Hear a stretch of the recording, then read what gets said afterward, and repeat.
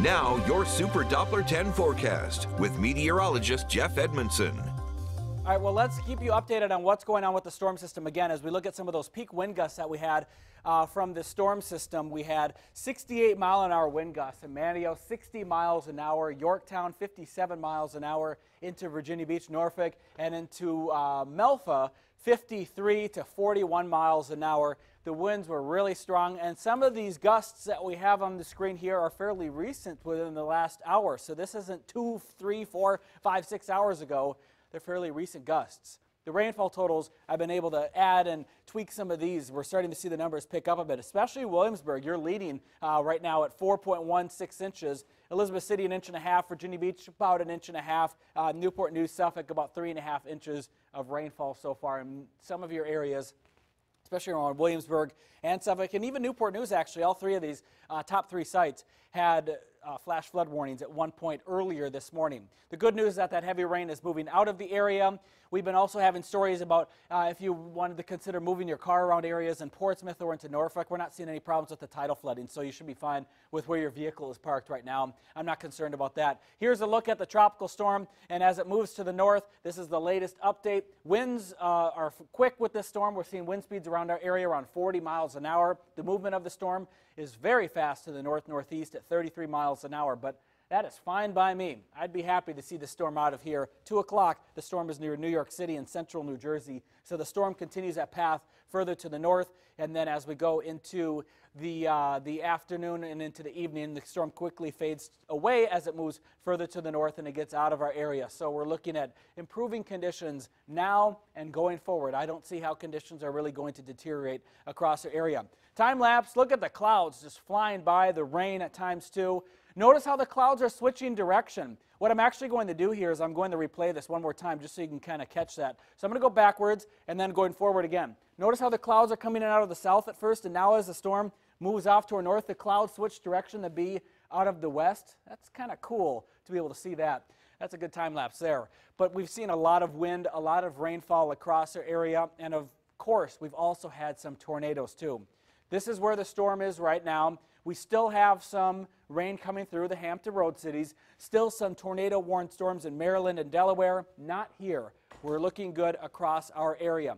But again, a lot of tornado reports that we've seen throughout the morning. It was a really scary morning, and unfortunately, it sounds like there was a fatality too around areas near Bertie County and south of Windsor. This is the report here from south of Windsor. Significant damage at a trailer park this morning, uh, uh, this morning on Morning Road, and that's where I believe the fatality occurred in that area, which is horrible to hear. Otherwise, we also had other tornadoes too into Suffolk and around the area, Courtland. I've seen some pictures and some video from there. But the one around Suffolk, take a look at the radar loop. Now, these are the old tornado warnings. This is the old radar loop, and here's the time right here in case you're wondering what time in the morning it was. In case if you're in Virginia Beach, for example, and you slept right through this. This was around 3.15 in the morning when we had this tornado report right in this area. What we can also use is we can look at the storm wind and in this area, and there was a lot of circulation as that storm was moving through the area. A lot of that wind going towards the radar, going away from the radar, a lot of circulation. We could even see the storm and the possible tornado on radar at 1.2 as it moved over Suffolk. But now, no tornadoes across our area. Rain still continues across the region. This rain is lifting to the north. With it is also still a lot of wind out there. It's still really windy throughout Norfolk into Virginia Beach. 28 mile an hour winds right now in Elizabeth City, 17 in Kill Devil Hills. It's good to see it's starting to decrease.